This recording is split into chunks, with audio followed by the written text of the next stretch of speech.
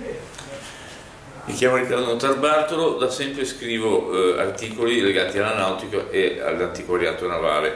Prima che mi dimentichi vorrei eh, ringraziare eh, Fogli Fiori Fantasia per, per i fiori. dunque adesso parliamo di questo elmo da Palombaro, manifattura italiana degli anni 20. Eh, lo trovate presso il negozio antiche di San Giovanni sul Muro a Milano dalla mia amica Daniela Giorgi.